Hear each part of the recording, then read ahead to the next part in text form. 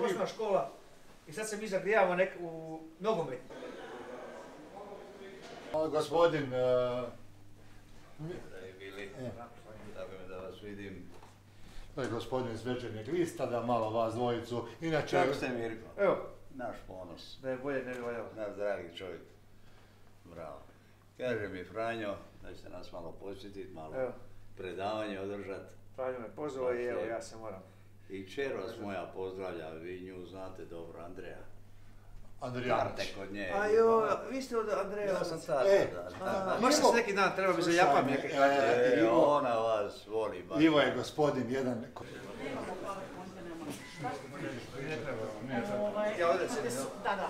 Sjedite li budete stati još, evo tako. Ja ću Ne sam puno star. Evo, tako da, gospodin... večernjeg lista i najbolji sportski novinar kojeg je Hrvatska ikad imala. On je radio jedan, jedan na jedan intervju više puta s Michael Jordanom, s Mike Tysonom, s Lennon Lewisom, sad ti nastavi niz, ja ne znam više ko se ali on to, on je skoro pa neće, ali zaista ovaj, i on mene prati od, od, od, od, od koje godine, od 96. si ti prvi, prvi puta nešto napisao, kad sam prvi one nastupe i od, i od uvijek je on ovaj, bio, eto, i sad je došao isprati, to je jako lijepo. Naravno, cijelo to vrijeme mi smo se i postali pravi kućni prijatelji i ovaj, ali zaista je legenda, su- za legenda i majstor svog zanata. Bio inficiran tim boračkim sportom, ja sam to zaista volio i gledao te filmove, to je sve krenulo zapravo sa Van Dammom, jel? Mhm. Gledao sam te njegove filmove, obožavao, htio sam biti poput njega, ali ono, ne, nisam sanjao ni, ni, ni razmišljao se ja, da ću se ja baviti s tim, da će to biti ovaj, moj životni poziv, profesionalni borac, nego sam eto htio onako biti građen kao on, dobro izgledati, te udarce njegove kopirati tako, i, tako, i tako je to krenulo. To, I to i zapravo i mora krenuti kroz neku, neku dječačku ljubav, nekakvu strast, jer ako krenete s tim proračunom, to je sa smislom da se zaradi novac, od toga nema ništa, neće niko ni napraviti tako. To vredi za sve, i za, i za od košarke, nogometa, to klinci prvo počinju, jer to vole igrati, žele se natjecati ovako, onako, tek onda kad se iskristalizira i, i, i kad se profiltriraju, pa se vidi da je on ekstra, ekstra talent i da on, ima, da on bi nešto mogao postići, tek onda se usmjerava neki ozbiljan rad, ali inicijalno to mora biti, znači, dječačka želja, strast i ljubava. Često sam ja dobijao tako upite poruke na Facebooku, čovjek mi kaže, ne znam, u problemima sa financijskim, ima 24-5 godina, on bi se želio boriti, sada mu dam. Nikad se nije trenirao s tim, sad on, on bi se želio, sve to je jasno, samo nemaš ti vremena. To je gotovo, nema od tog ništa. Za svoj sport. A generalno to je u takvom sportu. Može sad vi dovesti, ne znam, a, Iliju Bebeka iz e, NK Stari Jankovci i sad vi vidite, odete u Nike na neki sponzorski dogovor. Neće vam to proći.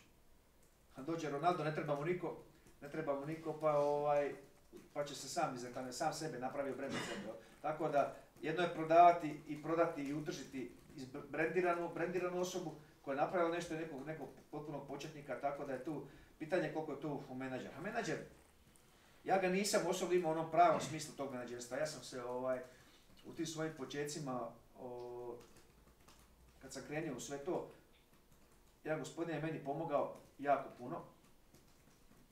On je meni plaćao, znači, gledajte, nije bilo tu izbora. Ja sam došao u, u Zagreb 94. godine u 10. mjesecu, pisao Policijsku akademiju. Samo sam želio trenirati. I to za mene su nekako najteži periodi mog života. I hvala Bogu da su se dogodili. To moj sin neće nikad, ne, on je taman vaša, vaša generacija, jel? napunit će 20, on to nikad neće osjetiti.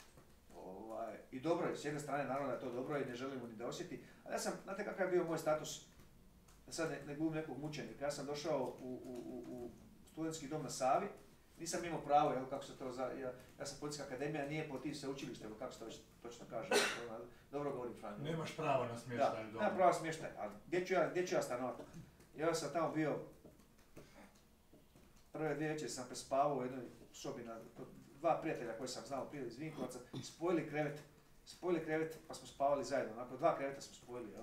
Na onoj daski u u sredini s krkiću mi sa slom. Onda ovaj, ovaj se, jedan od njih dvojice je otišao, imao neku curu pa još spavao kod nje, ne znam, nekakvih, ne mogu sad sad više sjetiti točno, a neki desetak dana, dva tjedna, a ja sam ovaj, gledao one oglase, prodajem sobu, to je bio veliki biznis i stvarno mi čovjek nađe oglas i prodaje sobu. On je bio iz Zaboka, on je putovao na, na, na, na fakultet, ali dobio pravo na sobu, i onda oni to prodaju.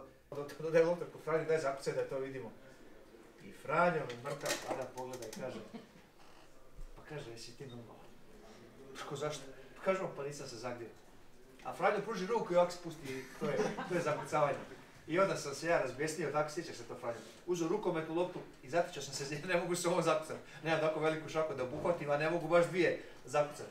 Ja sam ja zakucao s rukometnu loptu, a to pamtim kako je Franjo meni rekao, pogledao me, a fali mu odraz, ovo- ovako mu treba. Ako, trebaš? Moraš- 17, 17 cm skočim da bi zakucao. Ajme me. ja sam se onda razbjesnio. Ovaj,